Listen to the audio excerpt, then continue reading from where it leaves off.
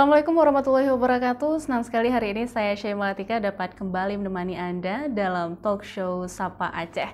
Menarik sekali, uh, saudara sekalian, memang pernikahan permintaan paspor meningkat sejak beberapa bulan terakhir. Hal ini juga dipengaruhi oleh pembukaan rute internasional Banda Aceh Kuala Lumpur dan juga meningkatnya permintaan untuk umroh dan juga haji. Nah, bagaimana persiapan dari kantor imigrasi Banda Aceh terkait dengan permintaan paspor yang meningkat ini? Sudah bergabung bersama kita Bapak Telmaizul Syatri yang merupakan Kepala Kantor Imigrasi kelas 1 TPI Banda Aceh. Assalamualaikum Bapak, apa kabar? Salam.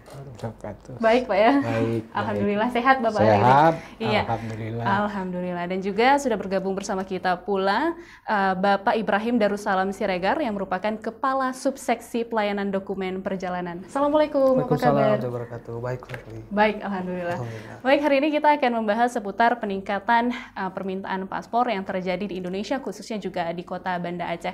Mungkin bisa kepada Bapak Telmaizul terlebih dahulu bisa diceritakan Pak sedikit uh, sejauh ini ini berapa banyak sih Pak jumlah uh, layanan untuk masyarakat yang ingin melakukan uh, permintaan pembuatan paspor di Kota Banda Aceh?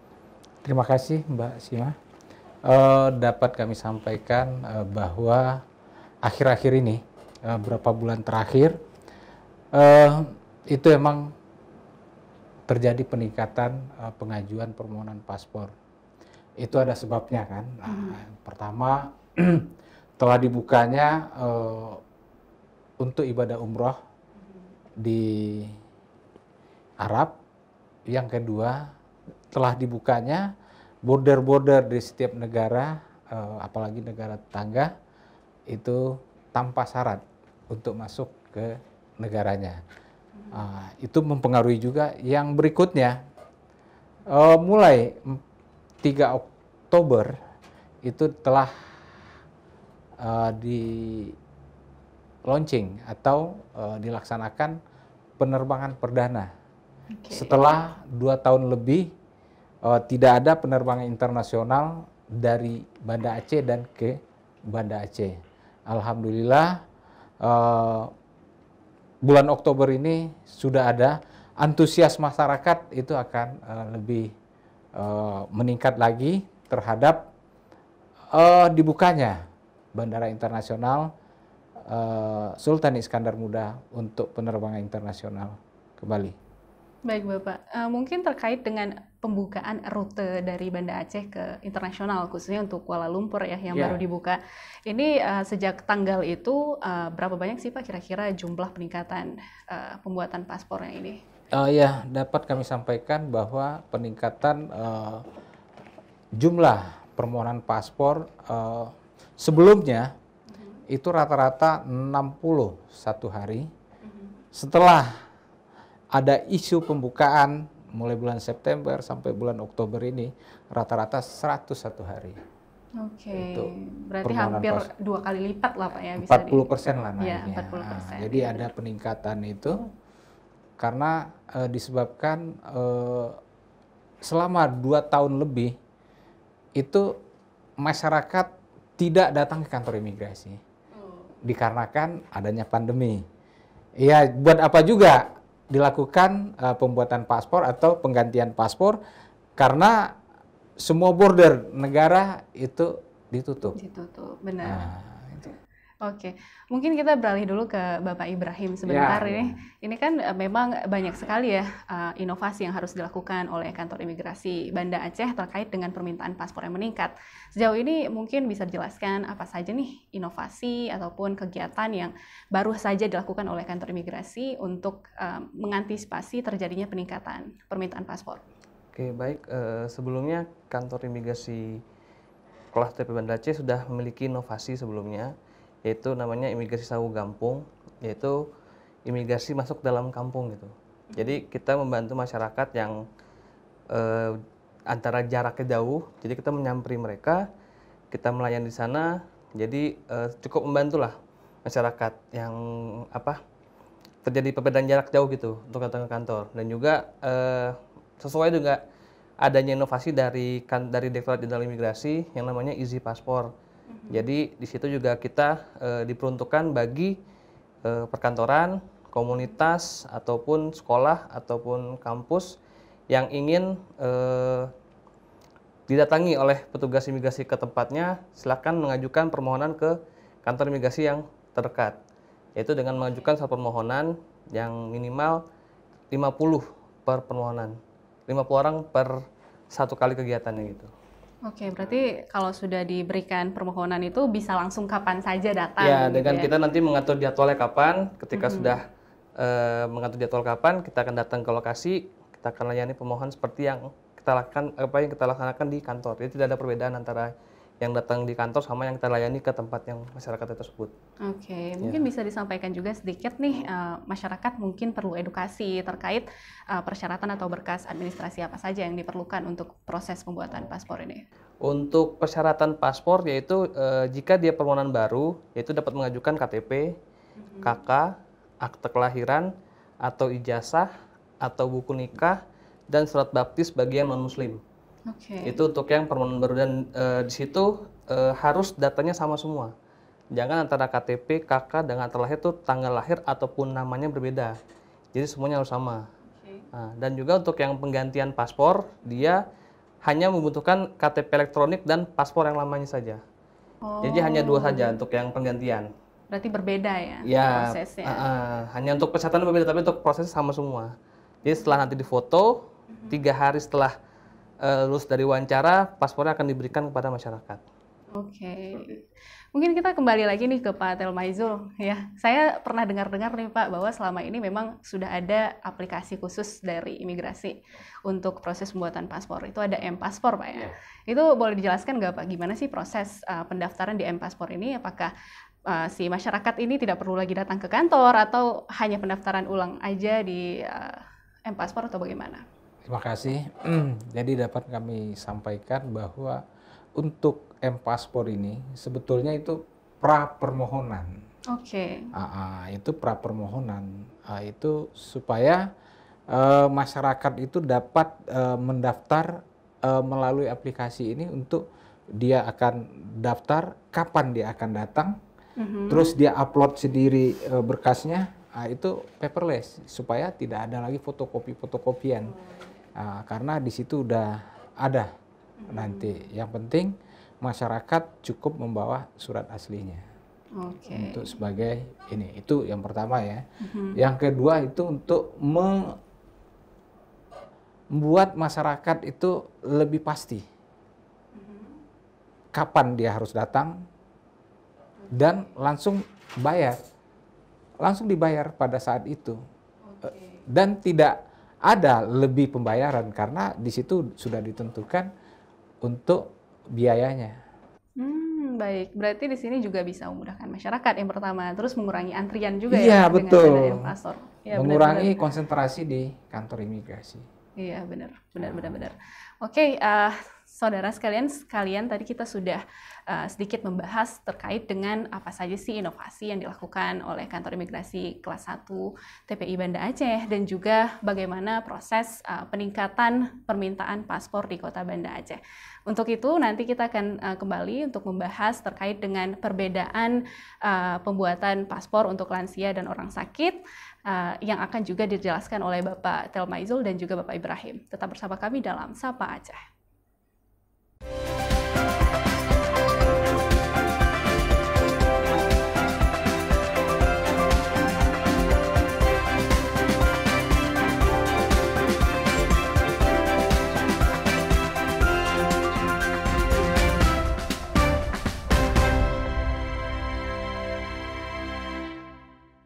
Rangkaian informasi terhangat mengiringi awal pagi Anda.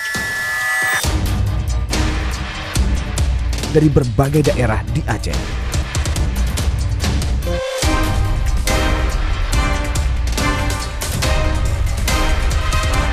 Kompas Aceh hadir setiap Senin hingga Jumat pukul 6.30 waktu Indonesia Barat.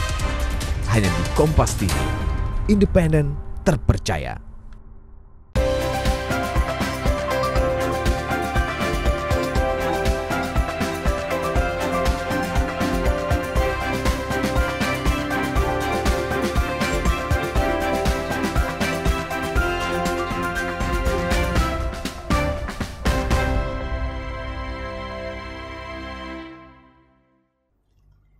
Saudara terima kasih Anda masih bersama kami dalam Sapa Aceh.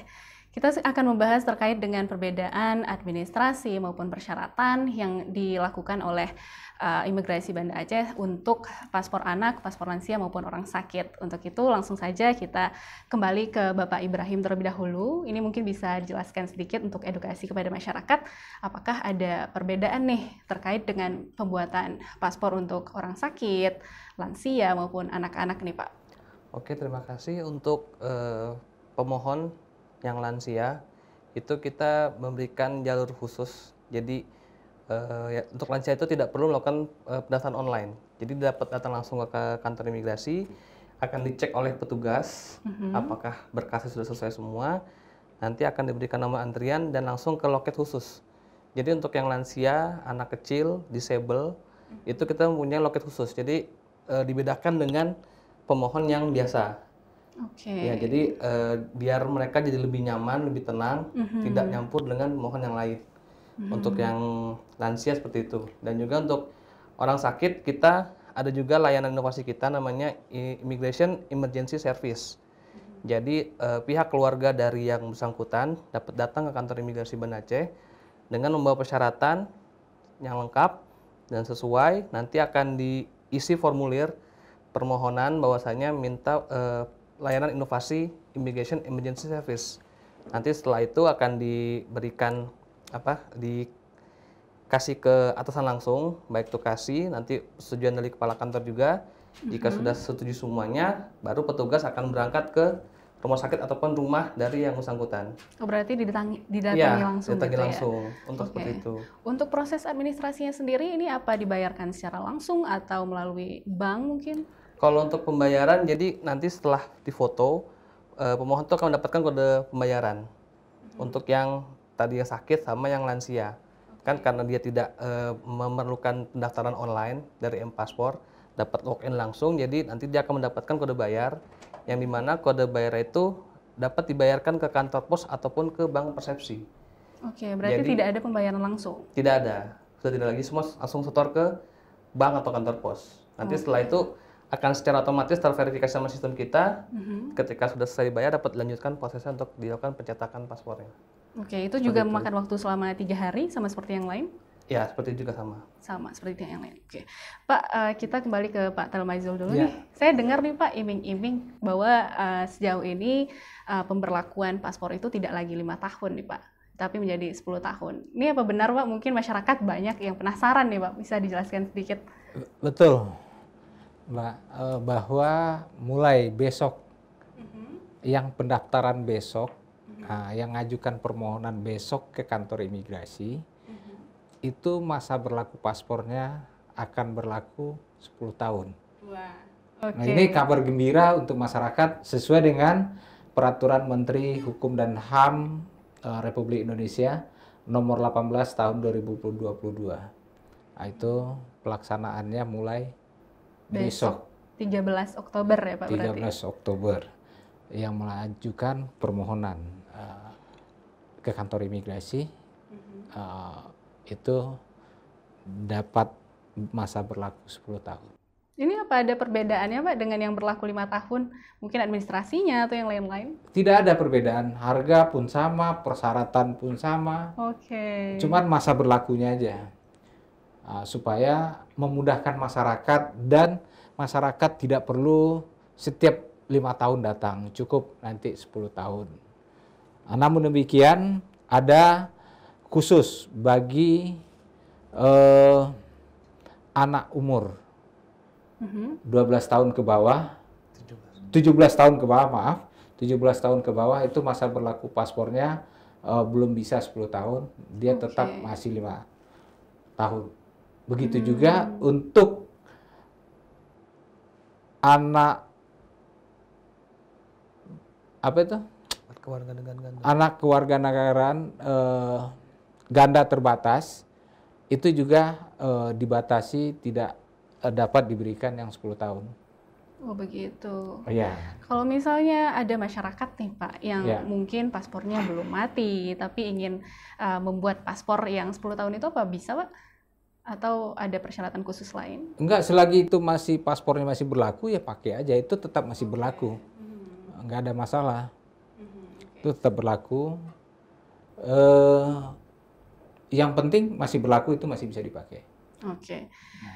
Kalau kita kembali lagi nih Pak ke Wisman mungkin atau WNA ya Iya. yang selama ini juga tidak bisa datang ke Aceh karena Ah. adanya pandemi COVID-19 dan lain-lain. Hmm. Tidak bisa dipungkiri juga dengan adanya uh, pembukaan rute internasional ini, WNA yang datang ke Aceh juga semakin banyak nih Pak. Mungkin bisa diceritakan sedikit nih uh, apa sih uh, inovasi ataupun program yang mungkin akan diluncurkan oleh Imigrasi Banda Aceh terkait dengan pembukaan kembali rute internasional ini Pak? Ya kalau program yang eh, diberikan eh, kepada orang asing ya kita masih tetap eh, melayani seperti biasa Eh, bahwa setiap orang asing yang masuk ke Indonesia ya harus eh, memenuhi persyaratan dan ketentuan yang berlaku. Jadi inovasi untuk eh, orang asing yang berada di Indonesia dan tidak pulang ke negaranya itu dapat mengajukan visa dari dalam negeri, nggak perlu keluar Mhm. negeri. Nah, gitu. Ini ada perbedaannya. Kalau orang asing yang di luar itu harus punya visa, kan begitu. Kecuali negara-negara tertentu yang ada pengecualian visa.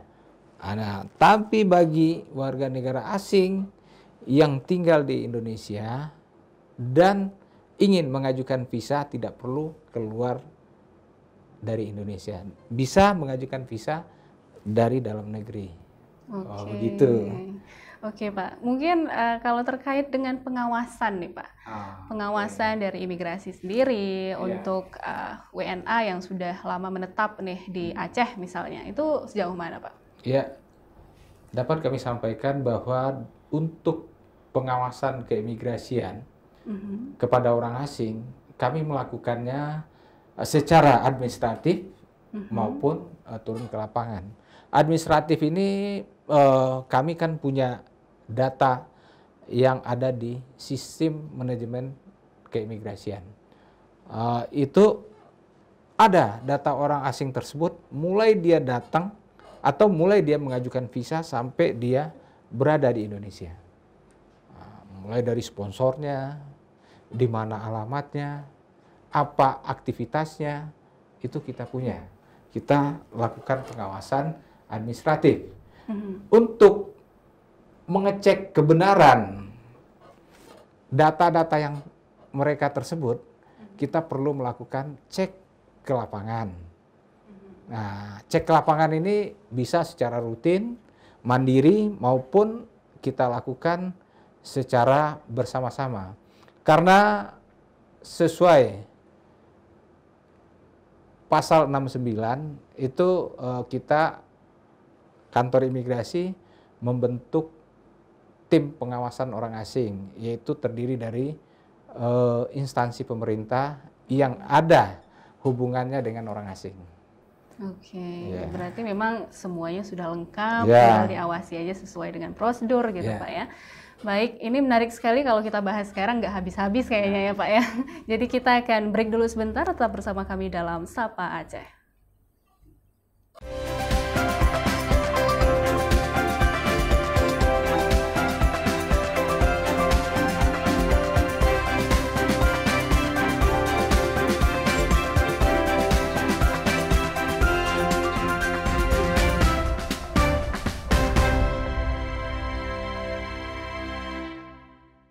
Rangkaian informasi terhangat mengiringi awal pagi Anda. Dari berbagai daerah di Aceh.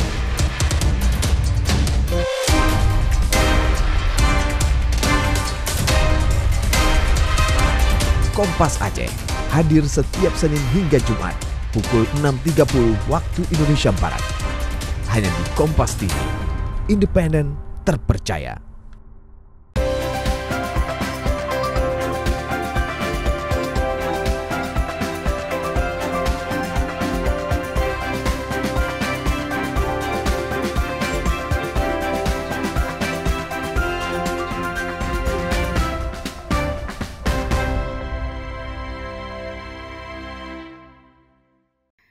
Baik, terima kasih Anda masih bersama kami dalam Sapa Aceh. Kita akan membahas lebih lanjut terkait dengan wewenang dari imigrasi uh, sendiri terkait dengan apa saja yang akan mereka lakukan dengan WNA yang akan datang ke Aceh. Untuk itu mungkin kita bisa mulai dengan Bapak Ibrahim terlebih dahulu. Ini mungkin bisa dijelaskan kepada masyarakat luar sana uh, yang ingin mengetahui tentang wewenang lebih lanjut dari imigrasi kelas 1 TPI Banda Aceh ini untuk WNA yang datang ke Aceh ini sejauh apa? Apakah hanya sejauh berkas saja atau ada wewenang yang lain? Baik, terima kasih.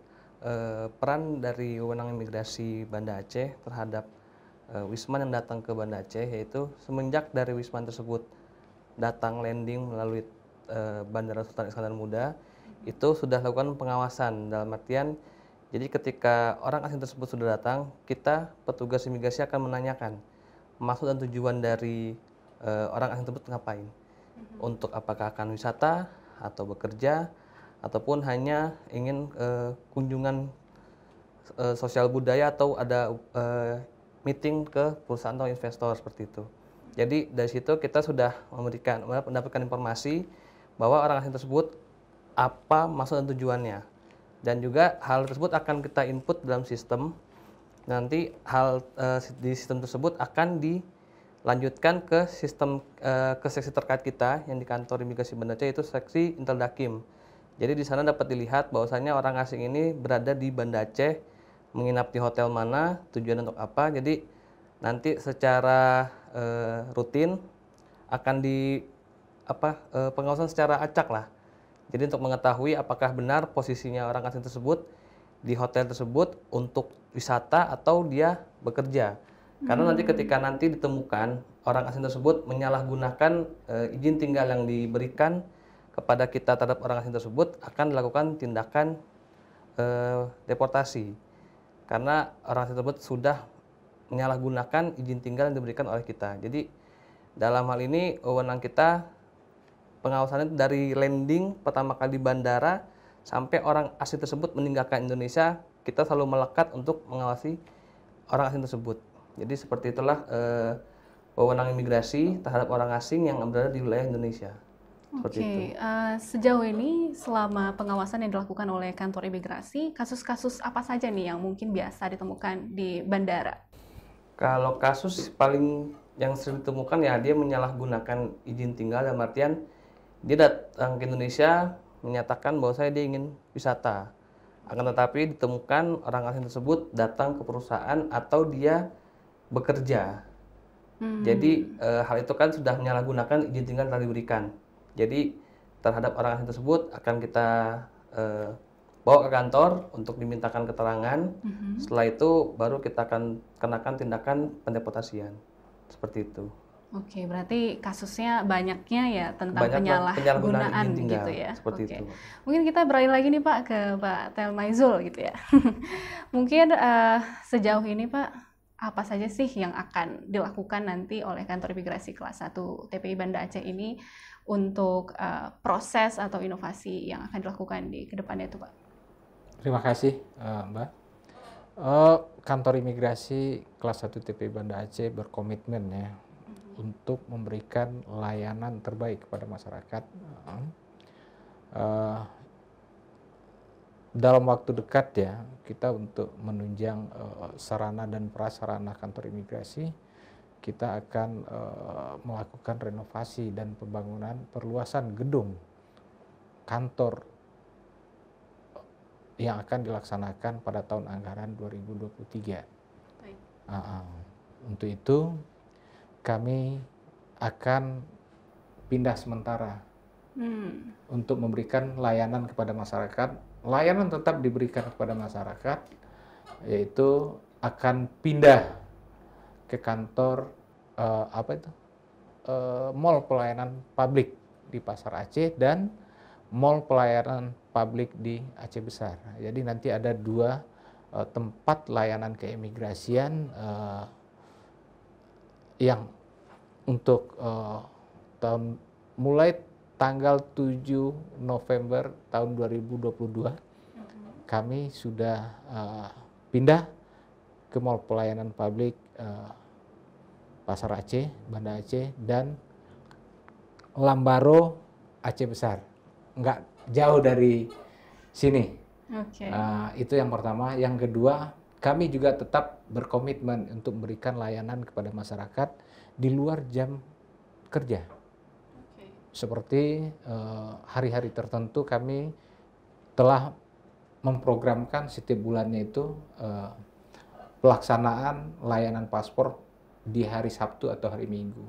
Hmm. Nah, itu tidak perlu daftar online, langsung datang ke tempat yang kami tentukan. Oh, berarti bukan di MPP-nya, di tempat Iya, lain. bisa gitu? aja. Kami Oke. buat di mall kayak nanti apa di mana kan gitu. Oke. Nah, pokoknya kami buat eh, sedemikian rupa supaya masyarakat mudah menjangkaunya dan tidak mengganggu hari-hari sibuknya. Nah, jadi begitu kami berkomitmen untuk memberikan layanan kepada masyarakat. Iya, itu terkait informasinya bisa diakses di Instagram pribadi Iya. dari imigrasi Eh, Pak ya. kami selalu memberikan informasi melalui Instagram. Itu untuk itu makanya tolong follow Iya, ah, Instagram Imigrasi Banda Aceh. iya. Nah, tolong di komen-komen ya. sudah Pak Situ ya. informasi-informasi terkait dengan layanan keimigrasian ah, komplit di situ. Hmm, jadi masyarakat tidak kebingungan lagi lah Iya. ceritanya ya. Nah, itu makanya sering-sering dilihat eh, IG-nya kantor imigrasi. Nah, informasi-informasi selalu kita sampaikan di situ. Iya, oke. Mungkin terakhir nih Pak, ada nggak yang ingin disampaikan kepada masyarakat terkait pelayanan mungkin yang disediakan oleh kantor imigrasi atau terkait dengan uh, persyaratan yang mungkin masyarakat juga masih kebingungan? Silakan Pak. Terima kasih.